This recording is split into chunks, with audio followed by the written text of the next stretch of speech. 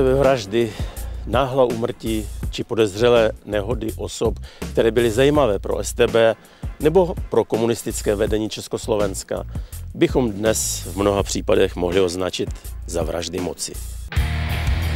V České republice podle ustanovení paragrafu 35 písmene C ovšem tyto činy nejsou promlčeny. K jejich znovu otevření, přehodnocení a dalšímu vyšetřování můžete pomoct především vy. Pár dnů před štědrým dnem roku 51 byl v nápravně pracovním táboře Vojna u Příbramy zastřelen František Kulda, vězeň na útěku.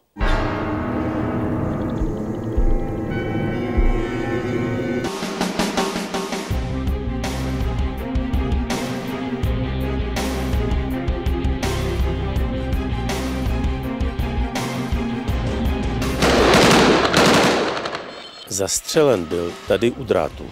Jeho mrtvé tělo pak bylo odtaženo na schodiště kulturáků, jak se tomu místu říkalo, pro výstrahu ostatním vězňům.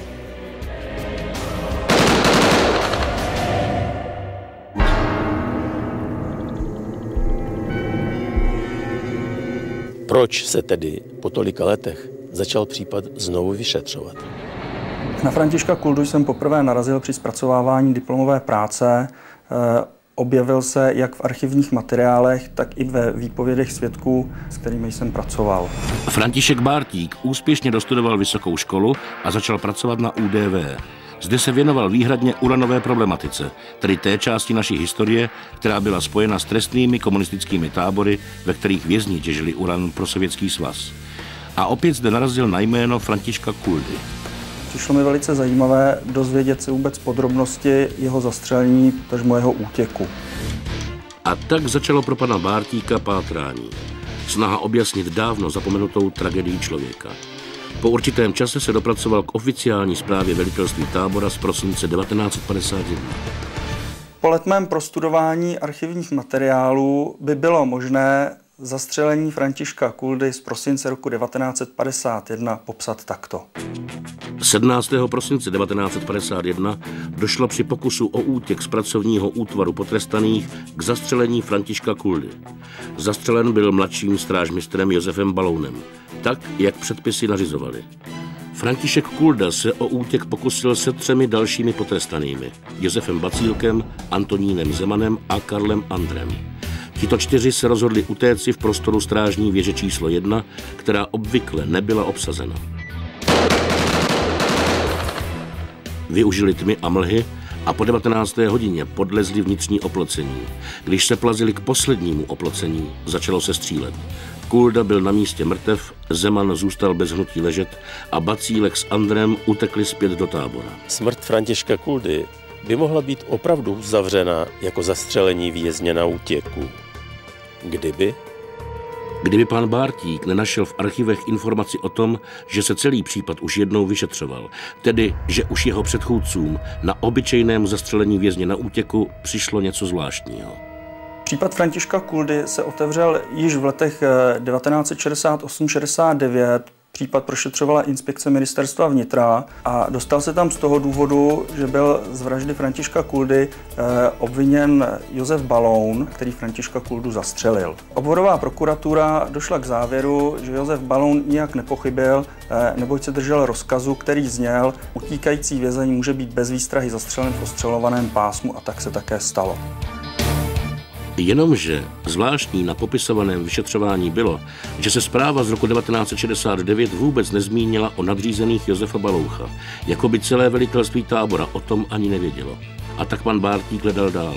A možná by se dostal do slepé uličky, kdyby se jednou nevrátil k ručně psanému textu pod čarou přísně tajných materiálech byla poznámka o tom, že celý útěk čtyř útěkářů z tábora Vojna byl agenturní cestou oznámen velitelství tábora.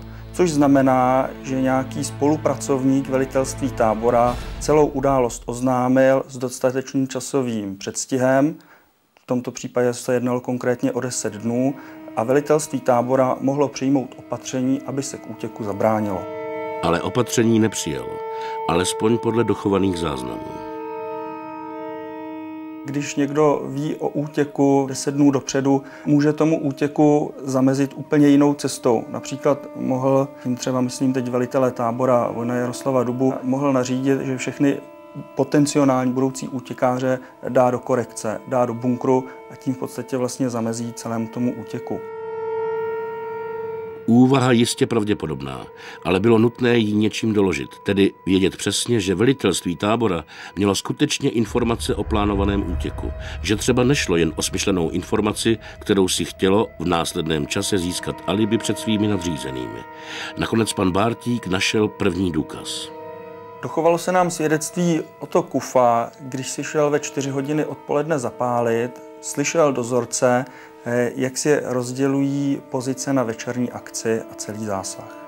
A následovalo další svědectví, které přesně popisovalo situaci v táboře několik minut po střelbě. Když Josef Balón zastřelil Františka Kuldu, ostatní tři útěkáři se stáhli do tábora. Byl vyhlášen všeobecný apel, velitelství tábora vyzvalo útěkáře, aby se sami dobrovolně přihlásili, nikdo z řady nevystoupil a velitelství tábora tři útěkáře jmenovalo, aby vystoupili a v tomto případě je zcela jasné, že oni dopředu věděli přesná jména, kdo se útěku bude účastnit. Střelený byl tam, tam byl u lesa, byla ta bouda. A z té boudy byl zastřelený. A tam to odnesli na ten kulturál. A znali také směr, kterým chtěli trestanci prchnout. Trasa měla vést okolo strážní věže číslo jedna a nebyla to náhoda. Tato věž totiž nikdy nebyla obsazena hlídkou. Jenomže 17. prosince 1951 na ní jakoby náhodou hlídkoval Josef Balou. A nejen to. Místní útvar Jeřáb měl pohotovost a v lesích se pohybovali příslušníci tohoto útvaru, kteří čekali na Františka Kuldu, až bude utíkat. Tedy nachystaná past. Nové vyšetřování přineslo novou otázku. Proč nebylo dotyčným v útěku zabráněno, když o něm vedení tábora i ostrahy vědělo? Otázku je možné položit ještě jinak. Když vím, že někdo chce utéct a nezabráním mu v tom, mluvíme o Františkovi Kuldovi, protože ostatní tři utěkáři, ač byli na dostřel, zůstali nezraněni, potom jej chci za každou cenu dohnat do míst, kde mohu beztrestně střílet. A chci-li někoho zabít, musím mít k tomu důvod. Kdo tedy byl František Kulda? Nedovedu si pochopit, proč zrovna jeho, proč zrovna jeho zastřelili. Ne, to byl slušný, hodný člověk a takhle pro ho likvidovali. Oba bratři Kuldové nebyli žádní beránci, byli recidivisté. Z období první republiky a druhé světové války byl Josef Kulda 11krát soudně trestán. U Františka Kuldy je pravděpodobné, že byl trestán víckrát. Bohužel v tomto archivní záznamy mlčí. Soud, který Františka Kuldu nakonec dostal do tábora Vojna, proběhl v roce 1949 v Klatovech. Šlo o proces Míka a spol, který se týkal převaděčů přes hranice. Do tohoto případu byl František Kulda eh, pravděpodobně uměle umístěn a byl odsouzen ke 13 letům odnětí svobody. U rozsudku byl dodán ještě dovětek. Oba bratři jsou živli a sociální, možno u nich uvažovat i o trestu smrti. To, že byl útěk udán a vedení tábora se na něj připravilo, vědí vyšetřovatele jistě. Otázkou i po letech zůstává, kým vlastně. Možností, tedy hypotéz, existuje hned několik. Tou první je podle pana Bártíka tato. Útěk prozradil Antonín Zeman, vězeň, který nedávno předtím pobýval na korekci v neblaze známém bunkoru na táboře Vojna a zde byl spoluvězní výdán, jak je odváděn na velitelství, kde dostával jídlo a cigarety. Pro všechny bylo jasné, že to nebylo zadarmo. Druhým adeptem na propíchnutí útěku byl Bacílek, u něj je pravděpodobné, že možná už v té době spolupracoval s nějakými bezpečnostními orgány a to z toho důvodu, že v 70. letech oficiálně podepsal spolupráci se státní bezpečností. O tom, že spolupracoval eh, velice svědomitě, svědčí i to, že dostával finanční odměny. Zrádcem číslo 3 mohl být pan Andr. Vězeň, který byl již na táboře Vojna léčen s psychiatrickou poruchou a nedlouho po zmařeném útěku byl převezen na kliniku v Bohunicích. Často k sobě volal vězeňského lékaře se slovy, ať ten doktor přijde, ke všemu se přizná. Poslední hypotéza eh, o propíchnutí celého eh, útěku Františka Kuldy je, že eh, tím udavačem byl sám František Kulda. Mohlo tam dojít nějaké domluvě s velitelstvím tábora, že v podstatě toho prvního oni nechají utéct, ať se mu třeba povede útěk přes hranice nebo, nebo ať se skrývá někde ve vnitrozemí a ostatní oni chytnou.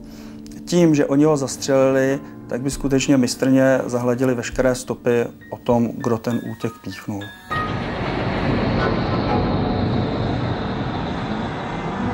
Tady, pro té kulturní dům, tady, tady byl pohozený. Pohozený Franta Kulda. Tady.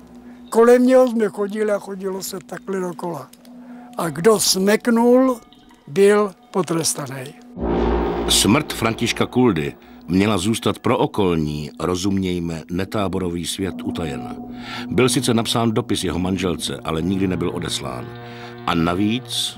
Došlo zde k poměrně zvláštní situaci, že v dubnu roku 1952 žádala o návštěvu svého syna matka Františka Kuldy a až v dubnu roku 1952 se dozvídá, že její syn byl zastřelen na útěku.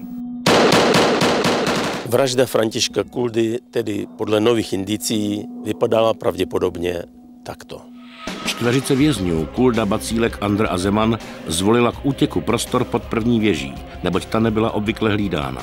Ale ten den na ní jeden ozbrojenec byl. Otázkou zůstává, proč byl zastřelen jen Kulda. Zda to bylo proto, že se dostal nejdál, anebo jeho smrt byla cílem konkrétního plánu. Františka Kuldu zastřelili z toho důvodu, že se jedná o agenta velitelství tábora, čímž by smazali ty stopy. A proč nezastřelili ostatní? Těžko říci, ale může to být z toho důvodu, že František Kulda utíkal jako první. Ostatní, když uslyšeli střelbu, eh, tak se měli dle svědeckých výpovědí stáhnout zpátky do tábora. Ale ať byl František Kulda spolupracovníkem a nebo ne, byl zastřelen na útěku, o kterém velitelství vědělo řadu dní dopředu a přesto jej nechalo proběhnout. To, že došlo k tomu samotnému útěku, k té realizaci a zastřelení toho Františka Kuldy, eh, nelze nazvat jinak než normální obyčejnou vraždou. Přesto v roce 2003 bylo vyšetřování ukončeno. Nebylo totiž možné určit konkrétní osobu vinnou z přípravy pasti na Františka Kuldu. A teď už to záleží jen na vás. Znali jste Františka Kuldu? Byli jste v té době v táboře Vojna? Jen vy můžete poskytnout nové svědectví, které umožní případ znovu otevřít.